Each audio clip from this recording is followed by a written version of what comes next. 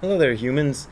A few weeks ago or sometime, I mentioned that, quote, Zazen is good for nothing, which is attributed to Kodo Sawaki Roshi, who was one of my uh, teacher's teachers. And the full quote, as is usually reported, is What is Zazen good for? Good for nothing. As long as this good for nothing practice does not penetrate our bones and we really practice what is good for nothing, it won't be good for anything. And in that video, I mentioned how Shohaku Okumura had come up with that translation, good for nothing, when he was working at a, uh, some kind of a farm picking blueberries, and they, the manager or whoever, the overseer, they, there were dogberries and blueberries growing in the same area, and dogberries are apparently no good because they can't be eaten. And he would say, don't pick those good for nothing dog berries. Uh, and Shohaku Okumura realized the idea of dog berries being good for nothing and blueberries being good for something was the fact that dog berries are inedible and therefore can't be sold. So they're they're very pretty and they just grow and they're just another berry in the, you know, the world, but they're not for humans good for anything. And the blueberries are good for something because they're you know they're they can be sold and people can eat them. And this is he was comparing to the practice of zazen being good for nothing. It's not good for anything but its own self. It is what it is and it's not some practice that you do in order to make another thing happen. I should go see what ziggy's barking at. I don't know what he was barking at. I went over there and i couldn't see anything. Anyhow thanks to Muho, the former abbot of Antaiji, uh, who lives in Japan in Osaka now, I found out what Kodo Sawaki actually said, which is Zazen shite nani ni narimasu ka? Zazen shite mo nani mo naran. Kono nani mo naran koto ga mimi ni tako ga dekite, honto ni nani mo naran koto o tada suru yo ni naraneba, honto ni nani mo naran. That's what he said. And what Shohaku Okumura came up with, I think, is a brilliant translation. It really captures what Kodo Sawaki said in idiomatic English, but it's not a direct translation. If you were going to look for a, a, translation that gives you exactly, you know, in precise terms, what uh, Kodo Sawaki actually said, mm, that's a little bit difficult. It's it's like uh, if I do zazen, what will I become?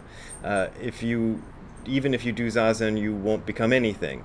This won't become anything until this won't become anything thing, koto is a very difficult word to translate, uh, is is so ingrained in you that that calluses grow on your ears because you've heard it so much, and the the truly not nothing becoming nothing becomes like your you know seeps all the way into you then it truly will become nothing you know, so if you do a direct translation, it's a big mess, is basically what I'm saying. The reason I bring this up is because one of the most fascinating things to me about Buddhism in its early phases was that it was an oral tradition.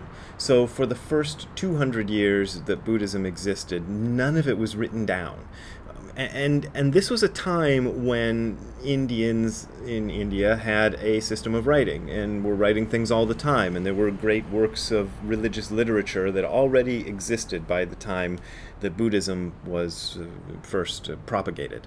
So they could have written it down, but they didn't.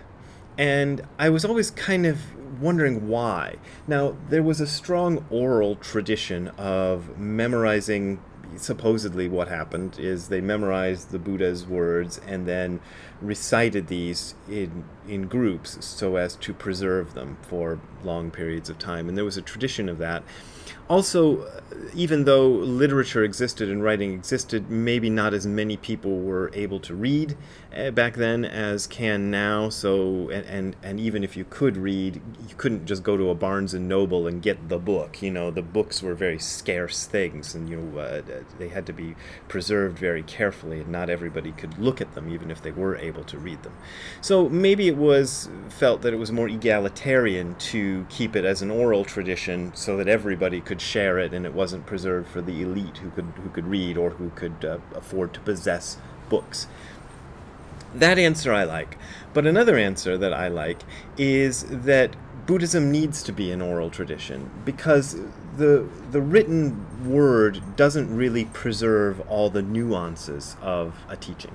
And so what the Buddhists wanted to do is preserve the actual essence of the teaching by by giving it from teacher to disciple and keeping it that way so that the tradition would actually change. The wording of of the most important points of Buddhist philosophy, Ziggy's running around like crazy in the ivy over there, uh, would would change. Hey Ziggy, how you doing? How you doing, Ziggy? Zig. How you doing, Zig?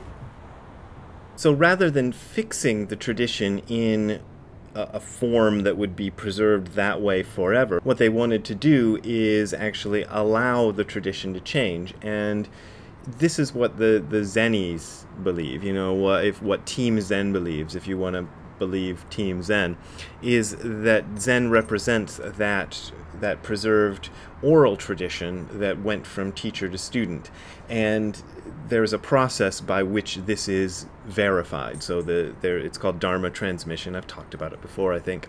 And a teacher recognizes that her or his student has matured to the level that that student is able to teach without referring back to the teacher without needing the teacher's guidance anymore and therefore they can become an independent teacher on their own and there's a certificate and there's some bowls and there's some doohickeys that you get and to represent this and, and everything is is uh, preserved that way this is a big contrast to the way Western religions are handled. There is a, a canon to the Bible, and I remember reading this.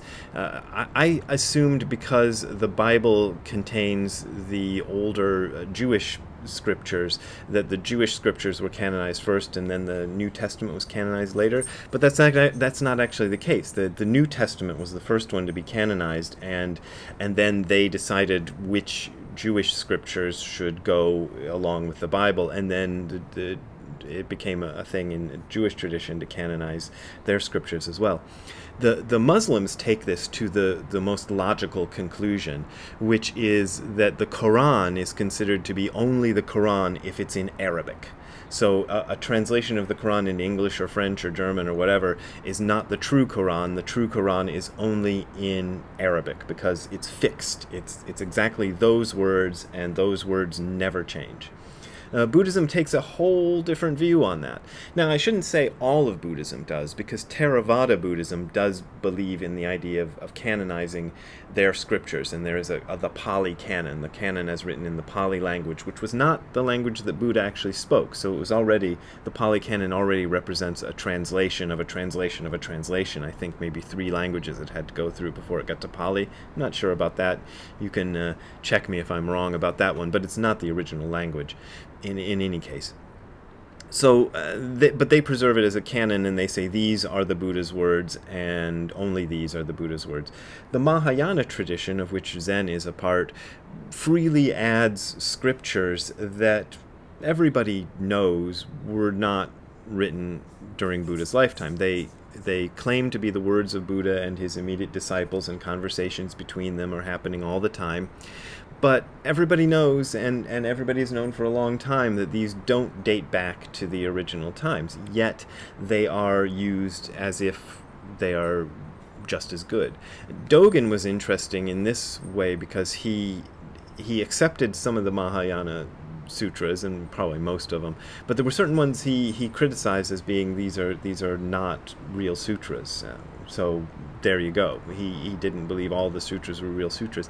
And he rarely uh, talks about anything from the Pali Canon. I don't think he could have read the Pali Canon, but there was a Chinese translation of it that would have been available to him, and he rarely quotes that. He, he almost always quotes only the later Mahayana sutras and the, the actual sayings of different teachers and his own teacher. So that is part of the oral tradition this is also why this is something that bugs people about me is I'm always quoting Nishijima Roshi or Tim McCarthy or Kobun Chino or other teachers.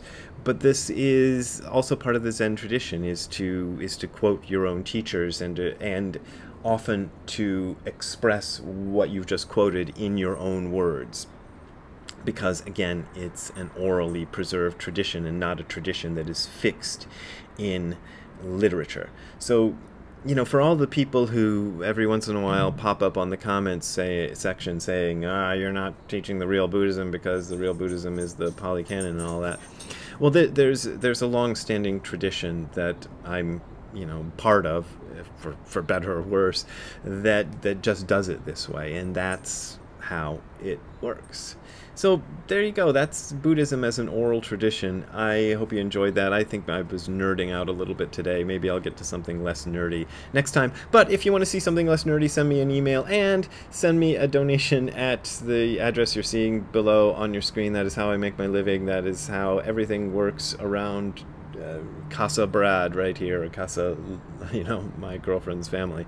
Uh, that is uh, really how I'm making my money. And if you don't have any money, if you're having financial troubles, don't donate.